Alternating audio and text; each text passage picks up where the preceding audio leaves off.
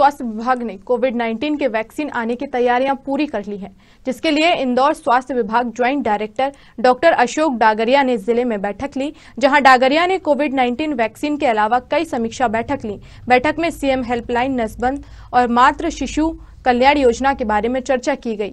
वहीं CMHO doctor RC Panika ने बताया कि कोविड वैक्सीन को लेकर लॉजिस्टिक मटेरियल आ चुका है। साथ ही इसकी ट्रेनिंग हो चुकी है। वहीं डॉक्टर पानिका ने बताया कि कोरोना वैक्सीन ज़िले में 10 से 15 दिन तक पहुँच जाएगी। ये आज जो बैठक हुई थी इसमें जो मुख्यमंत्री उसमें कंप्लेन जा रही है सीएम हेल्पलाइन में।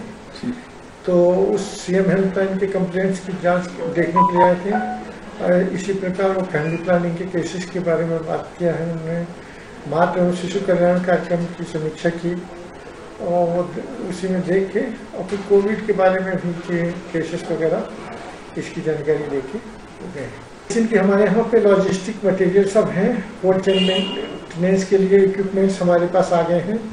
सभी हैं ट्रेनिंग पार्ट पूरा हो चुका है हमारे तो ह्यूमन रिसोर्सेज भी हैं।